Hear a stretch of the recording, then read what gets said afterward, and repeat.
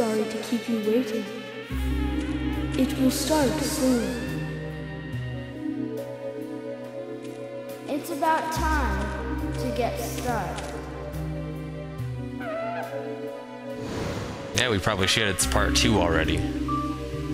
Or probably is at least.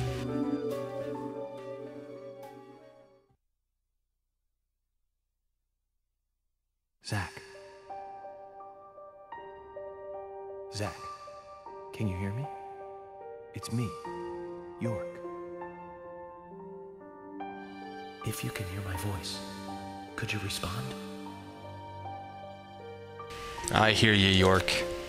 Ah, good. I thought you went to sleep. Zach, don't be surprised.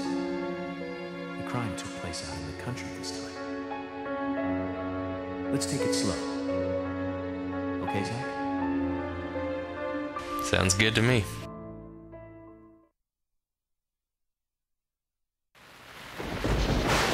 And now the game truly begins.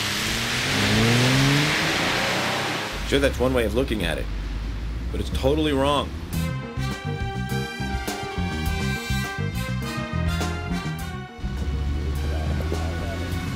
Listen, they both need each other.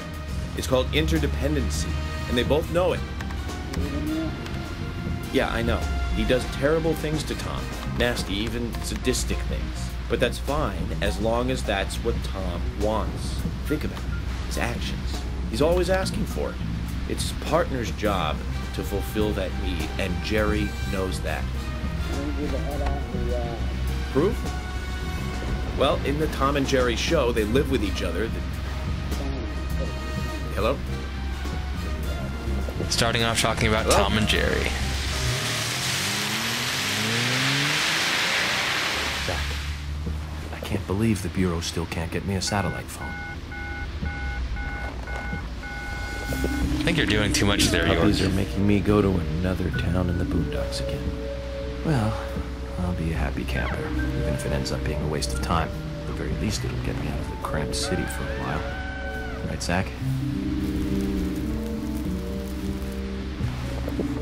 Perpetrator from the last case really was something. Who'd have thought there'd be razors laced into her nails? Crazy. Just crazy. Well, at least I now have a scar to show off. See this? I got this when I arrested the Catwoman wannabe. Women. They're crazy. Don't you agree, Zach?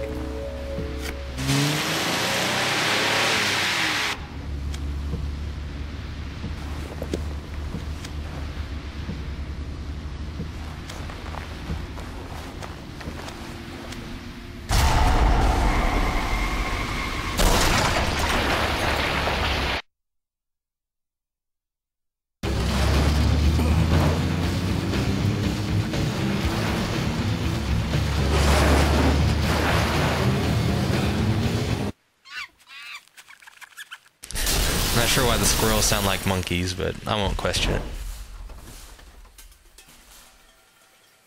You know, he's really just asking for a wreck sooner or later. Smoking on the phone and the laptop all while driving. Yeah.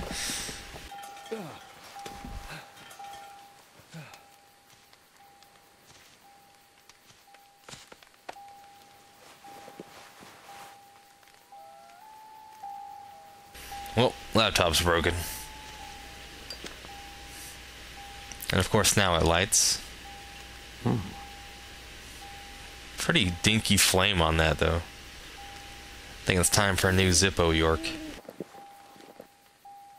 Hmm.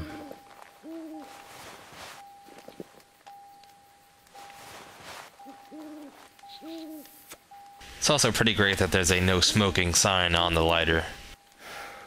Zach, there goes the civilized world. The mission knife. A big survival knife. Very vital to the mission.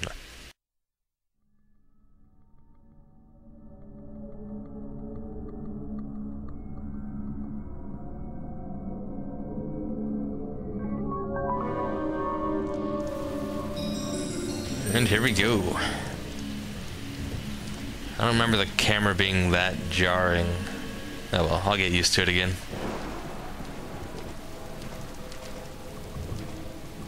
Steel pipe. I will take this. There's little collectibles like this throughout the game. I think these just pop up everywhere and they're not that important. Got some agent honor, which just gives us a little bit of money here and there for new outfits or anything else we want to buy. We do have to buy food in this game, otherwise we get hungry, and we also have to take care of our clothes, otherwise we become a stinky agent. But all that will be explained later on.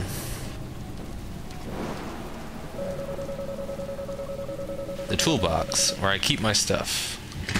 I think it's empty at the moment. Unfortunately. Have to get reacquainted with the controls here.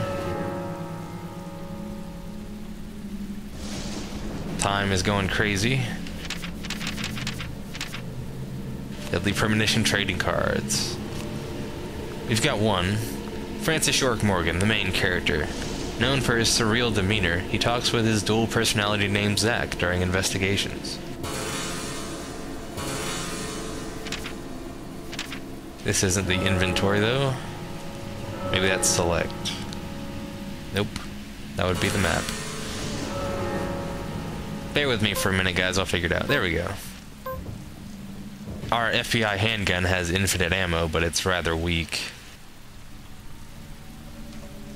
Let's see, how do I select it? A steel pipe, mission knife, and, you know, of course we'll go with the infinite ammo handgun. If I can figure out how to freaking equip it. That's strafing. Use your damn handgun, Agent York.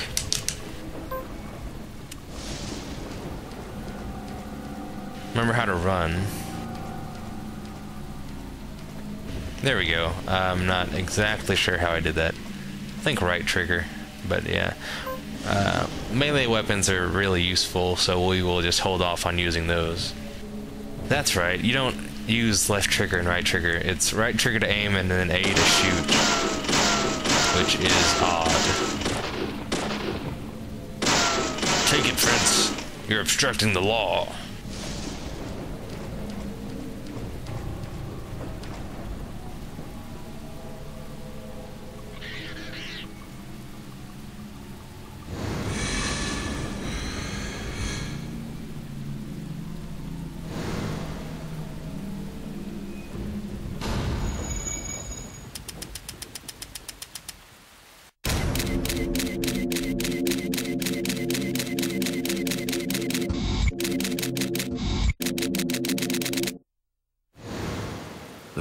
Welcomed. Zach, I'll let you handle the meet and greet. Don't really know how we are being welcomed, but every time we go through a profiling phase, the scene gets clearer and clearer each time. Onward. I need to be out in the rain in this weird part of town.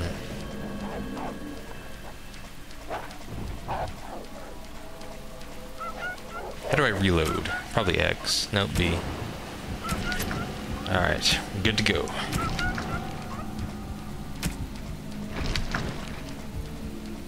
I guess this could be kind of described as a horror game, but nah, this game, it's not, not that. Oh, poor puppy. Ew.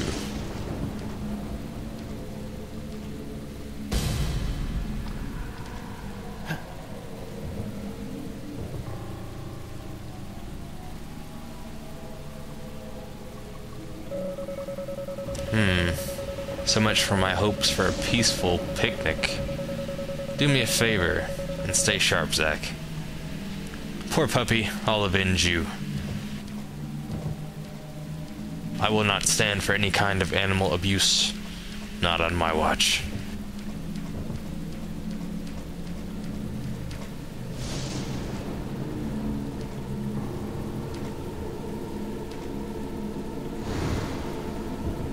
If the game just stayed like this the whole way through, then I guess it could be considered some kind of cheesy horror game that might scare little kids, but nah. This game is a lot more than that.